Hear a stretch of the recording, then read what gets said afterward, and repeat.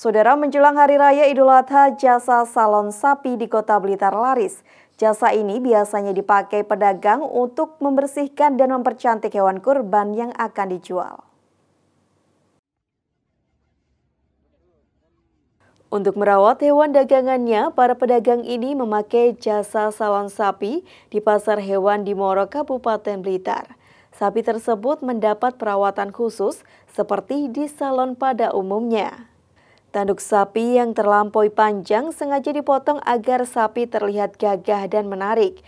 Selain itu, agar sapi sehat dan bersih, kuku sapi juga mendapatkan perawatan. Pemilik salon sapi mengaku menjelang Idul Adha ini mengalami peningkatan orderan jika dibandingkan dengan hari biasa.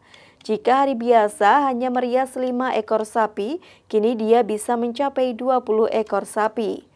Uang ratusan ribu rupiah pun mampu dikantongi pemilik jasa salon sapi di momen Idul Adha ini. Sementara itu, dengan adanya jasa ini para pedagang terbantu karena sapinya yang bersih dan terlihat menarik bisa lebih cepat terjual. Aja Pak?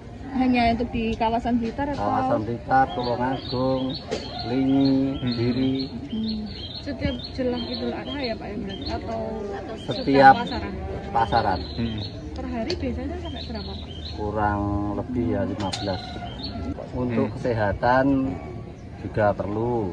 Untuk eh, kenyamanan sapi biar nggak terlalu berat eh, tanduknya atau kelihatan lebih cantik lagi.